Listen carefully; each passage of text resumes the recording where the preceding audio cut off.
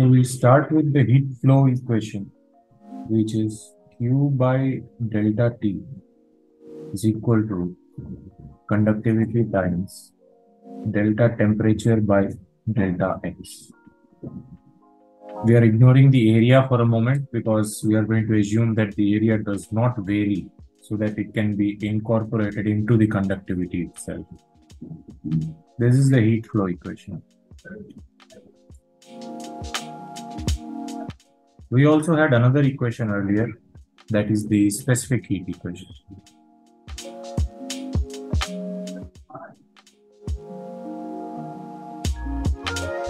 Here we found that the heat input to a substance is directly proportional to its increase in temperature.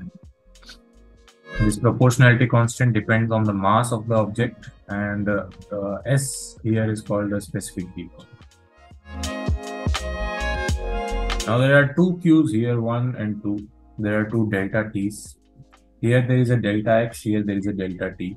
So let us take a moment to look at these equations and to understand what these different delta T's and delta X's are.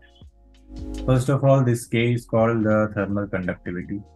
We'll get that out of the way.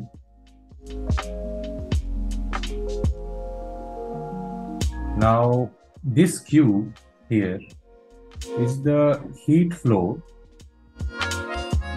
across an object. Across an object. But this q is not the heat flow across an object. It is the heat flow into an object. They are primarily different because we say in this case that there is heat flowing across an object and we want to look at how that heat moves with temperature change. And here there is an object and there is heat flowing into it. And this heat causes a temperature increase for the whole object. So there is heat flow across an object, there is heat flow into an object. An important thing is the difference between the delta T here and the delta T here. Now this delta T here is the change in temperature or it's not even the change. There is no change here. There is no change. There is a difference instead. There is a difference in temperature between two points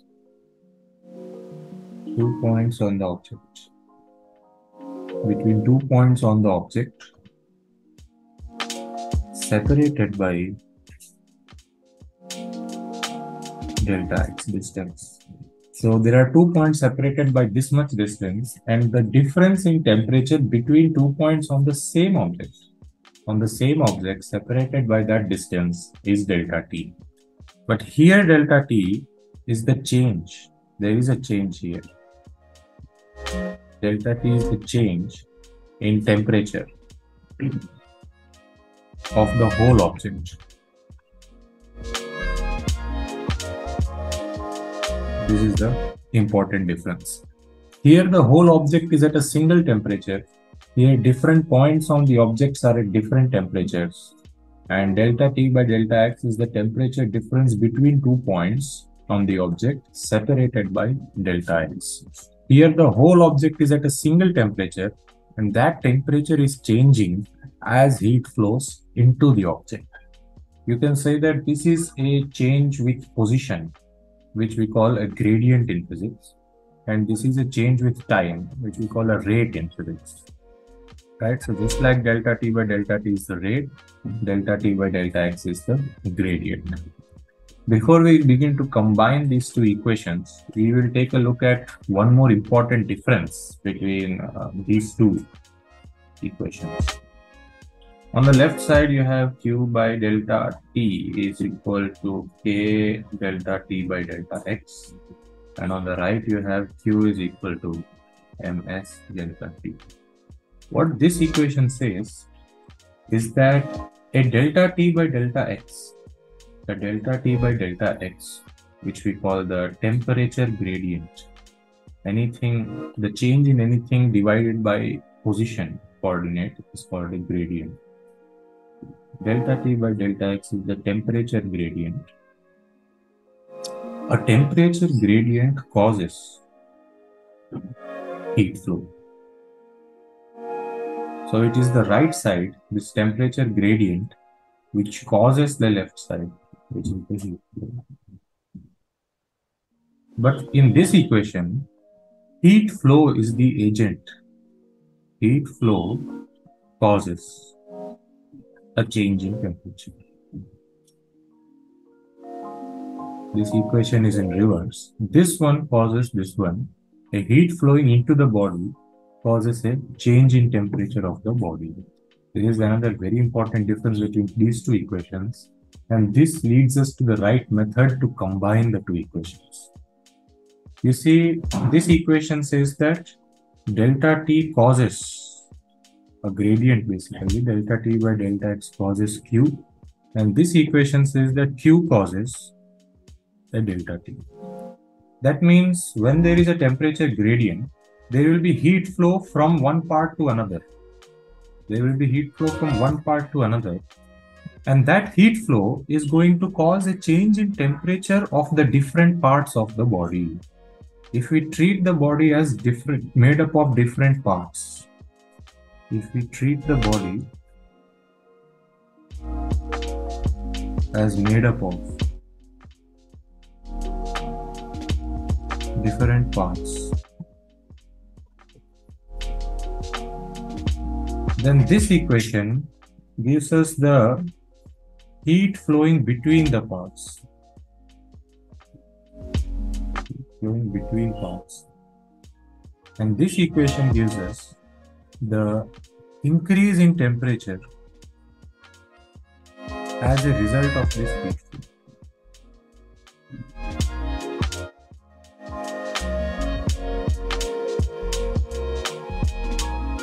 So you can see that there is a sort of loop situation forming here.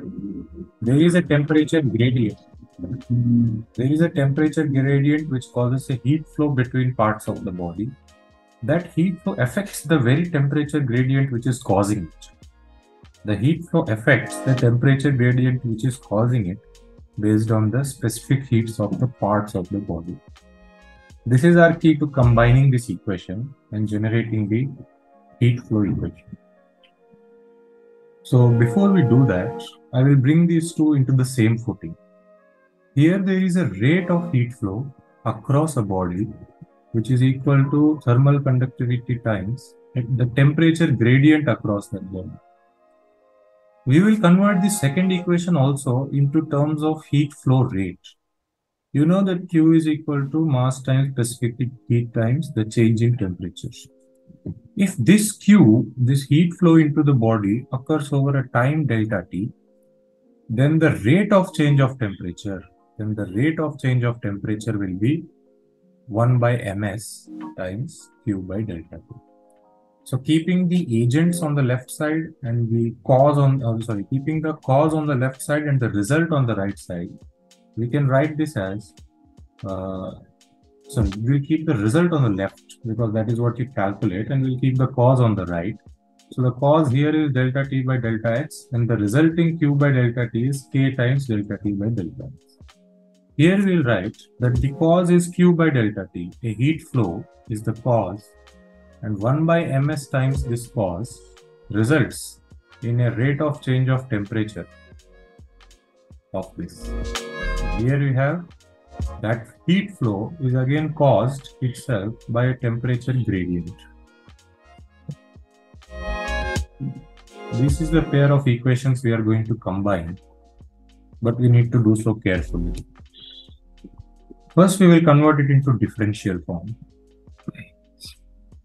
So these deltas, if you take the limit as delta x and delta t tends to zero, we are basically looking at the heat flow in a small amount of time across a small space in the object. And we get dq by dt equals k dt by dx. And we get d temperature by dt equals 1 by ms dq by dt. This is the heat flow equation, pair of heat flow equations through a body. Now to combine these equations, you have to notice one thing. If we have something like a rod, which is what we are going to consider right now. This equation says that there is a heat flow across the rod. This is 1 and this is 2. Then equation 1 says there is a heat flow across the rod proportional to temperature gradient which itself implies that the temperature changes with position. T is a function of x, changes with position. And then the second equation says that the temperature of a point depends on the heat inflow to a point, to that point. So that means temperature is changing with time. Temperature is also a function of time because the heats flowing in and flowing out of different parts of the body are not equal there may be an accumulation of heat at any point of the body and that will raise its temperature according to the second equation.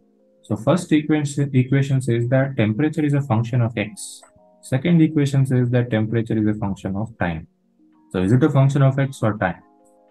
The answer is that it's a function of both. Temperature is a function of position as well as time. The location on the body will tell you what temperature it is and that holds only for one particular time you need to tell me both which location you're talking about and what time you're talking about for me to tell you the temperature at that point at that time. Now, how the temperature or any function, how would it depend on two different coordinates? This is something we don't need right now, but we are going to use at the end of the lecture. That we can say that temperature depends on position and time as a product of two functions. One function is a function of position multiplied by another function of time. So this is one kind of dependence. Of course, I could have addition here, I could have division here, I could have power, anything, any arithmetic combination of x and t will give me a function that depends on uh, position as well as time. For example, I could say d of x comma t is equal to x square plus t square. This is not of this form, but this form is a simple kind of form, which is something like x square into t square. Here, xi of x is equal to x square and tau of t is equal to t square. When the temperature function depends on position and time as a product of one position function and one time function, then we call it a separable function.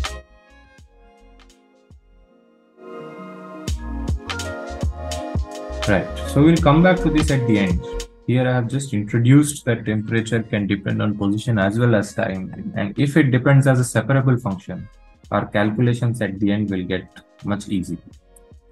So we start with these two equations and see how to combine them in a system where there is heat flow across caused by temperature and there is a heat accumulation resulting from this heat flow causing a change in the temperature. Basically, we are going to eliminate Q from this equation and this equation to get how the temperature of the body changes with time. So, the left side equation is about heat flow across a body. dq by dt equals k dt by dt. Actually, there should be a minus here because if the temperature is increasing in one direction, heat flow is in the opposite direction.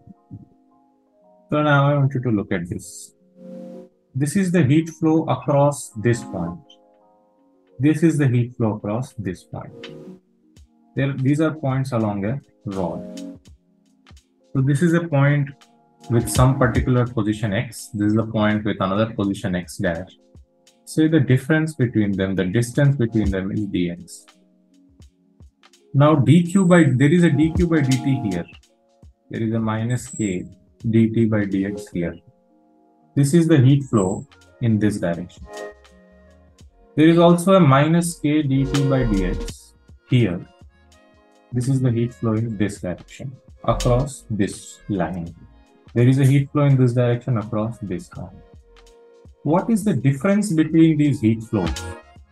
Let's use delta x. What is the difference between these heat flows? What is it? What does it physically mean? So this is minus k, I will take common. This is dt by dx. how does this dt by dx change across this gap? That will affect the heat flow, right? If I take delta of dt by dx, the change in temperature gradient,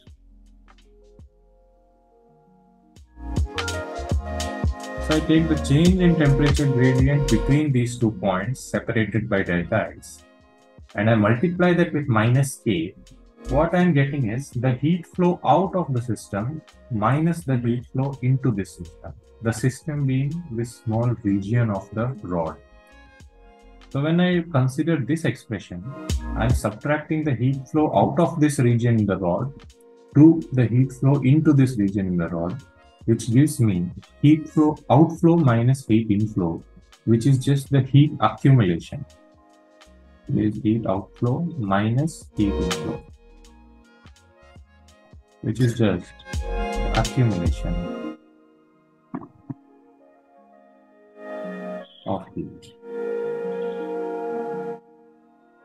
So minus k delta of dt by dx minus k delta of dt by dx is the accumulation of heat in time dt. In this dt time, in this dt time, we consider dq by dt here. In this dt time, the heat accumulated is such that dq accumulated by dt is equal to minus k delta dt by dx. This is part 1. Now, what is the effect of heat accumulating on a body? As we just discussed, heat accumulating within a body will cause its temperature to rise according to the equation dq by dt equal to ms dt by dt. Heat accumulating into a body causes its temperature to rise according to this equation. So then the temperature of this region, the temperature of this region is going to rise according to that equation I have just written, where the accumulated heat is this. So we will adopt that equation for this small region. dq accumulated by dt is just minus k delta of dt by dx. The change in the temperature gradient across the ends of the region when multiplied with the conductivity gives the accumulation of heat. Now the mass of that small part I can write as lambda times its length, where lambda is the linear density. Then I will write the specific heat capacity of the material and I have how the temperature of the body changes with time. Now I just will take this delta x this side and I get the equation minus a delta of gradient by delta x is equal to lambda s into temperature rate. Now this is very important. This is how the gradient changes with position. Gradient itself is how the temperature changes with position and now I'm talking about the, how the gradient itself changes with position, basically the gradient of the gradient. If I take limit as delta x tends to 0, then this fraction will also become a differential. And you will recognize this as the double derivative of the temperature. That leaves me with the equation minus k d by dx of dt by dx. d by dx of dt by dx is equal to lambda s dt by dt. And we usually have a notation for this. We write it as the double derivative d square t by dx square is equal to lambda s dt by dt. This is the basic heat flow equation. This was studied by great scientists Laplace, Boltzmann, and others. This was studied in one, two, and three dimensions. But in one dimension, the equation is really simple, relatively simple, where the conductivity times the second derivative of the temperature gradient of the temperature with respect to position is equal to mass density times specific heat times the rate of change of temperature. I want you to remember that this equation is about temperature which changes with position as well as time. there are different temperatures at different positions and all these temperatures are different at different times. And we want to now find how is it that this temperature changes with position and time. This is where we use the fact that if the temperature is separable, we can solve this equation simply. So I'll rewrite that equation. d square t by dx square is equal to, I'll take k to that side, I'll get lambda s by k times this t by, this is the equation I had. I just took k to that side, I get lambda s by k. So if t is of the form, it is a function of position and time, but it is a separable function, which means I can write it as the product of a function of position with a function of time. If I can write t like this, then what will be the second derivative of t with respect to x? Now, we are talking only of derivatives with respect to x, which means time is not changing. Then in this case, this becomes a constant, which means I can take it out of the derivative and I simply have to differentiate this twice and I will get x double dash of this is d square t by dx. Same thing I will do with time now. I need dt by dt. And now this becomes a constant because it does not change with time. And it is this thing which we have to differentiate, but only once in this case. And I get x of xi of x times tau dash of t. What is the use of taking this separable differentiation? The use is that when you substitute back into this equation, basically we want to find the temperature function which satisfies this equation. What we are going to do is assume that that function which satisfies this equation is separable. And then we are going to find these components. We are going to find these two components from this equation. That will give us the temperature uh, but just by multiplying them we will get back how the temperature depends on position and time.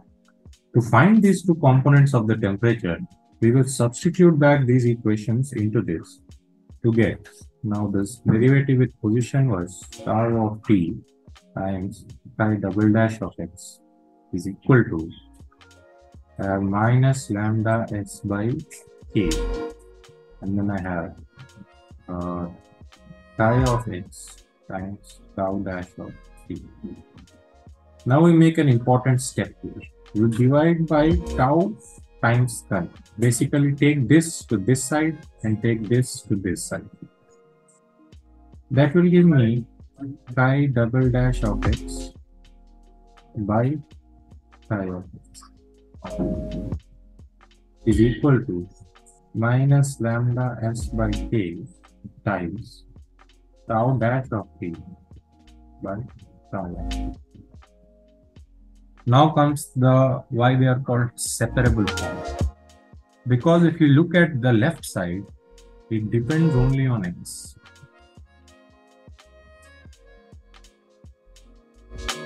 And if you look at the right side, it depends only on t.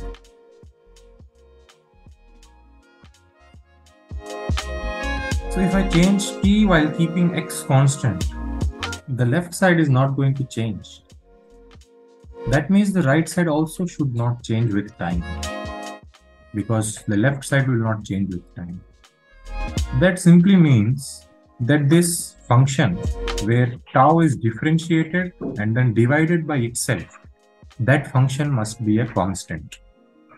Otherwise, when we change the time, the right side is going to change and the left side is not going to change. But these two are equal. So that means if the right side is not supposed to change with time, then tau must be such a function that when we differentiate and divide by itself, it gives us a constant. That means the differentiation of tau with respect to time divided by tau itself is simply a constant I will call that constant W. Now, this is actually a very easy equation to solve. We'll get back to the chi part in a moment. First, let's take care of the tau part. if I cross multiply that equation, I get tau dash of t is equal to w into tau of t. And what does this tell me? It simply tells me that tau is equal to, it is a function. When you differentiate, you get a constant times the function itself, which means it must be a into e power omega t. That is when, when you differentiate this, you will get that. You can you can find this by the standard method of solving differential equations. You can say 1 by tau times tau dash is equal to omega, which means uh, d by dt of log of tau is equal to omega. Now integrating both sides, I get log of tau is equal to omega t, which means tau is equal to e power omega t. So you can solve the equation this way, or you can just realize that tau is a function which, when you differentiate, gives you a constant times the same function back. And the only function that satisfies it is the exponential function. Hmm. So now we know the time dependence of temperature.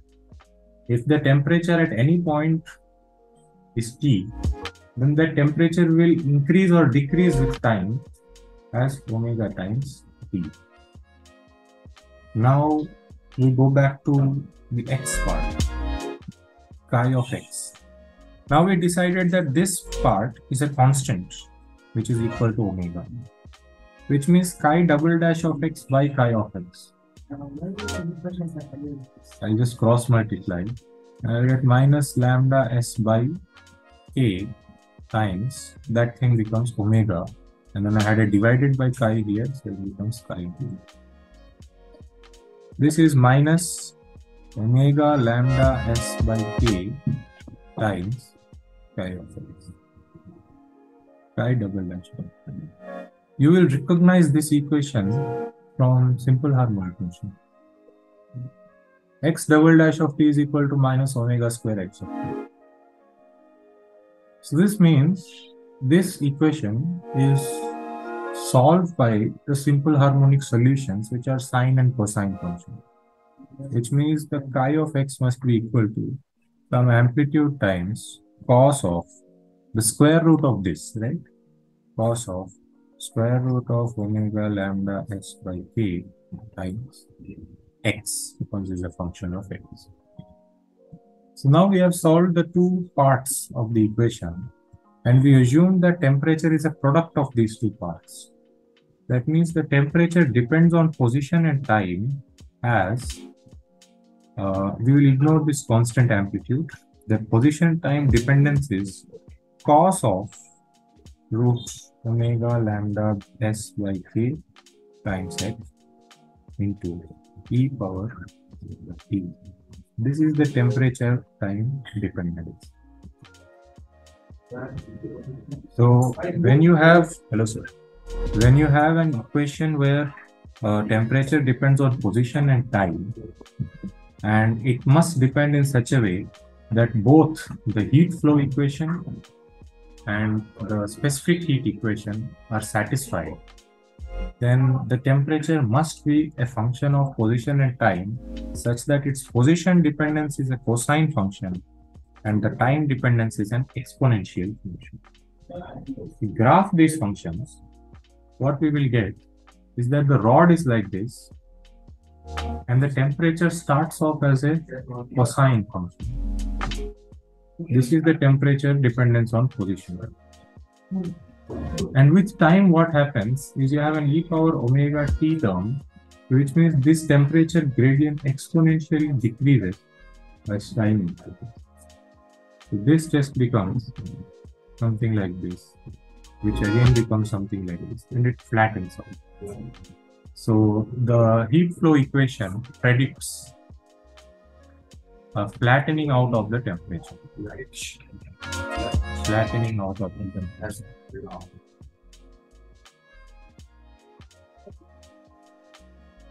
You can see that the term inside the cosine, cos of root omega lambda s by k into x. This term increases with omega. This means that if omega is higher, then this term will be higher, which means the cos is going to be more curved. If omega is lesser, then the cos is going to be less curved. And this has to be multiplied by e power omega t. There will be a minus there. This has to be multiplied by this, which means more curved temperature. More curved temperature falls off quicker falls off quicker. This is the important prediction of the heat equation that it is not a temperature gradient which matters. It is the second gradient of temperature, the curvature of temperature. If temperature curves more, then it falls off quickly, uh, which is very much understandable from a physical standpoint because you want the temperature graph, the body wants the temperature graph to flatten out if the temperature has a lot of curvature in it, the position dependence of temperature has a lot of curvature in it, then those parts which are curved will quickly flatten out with time, and those parts which are less curved will flatten out more slowly. The conclusion of this is that the heat flow equation predicts that bodies hate temperature curvature and more curved parts of temperature fall off quickly and less curved parts of temperature flatten more slowly. Overall, the temperature goes from a curved shape to a flatter shape with time.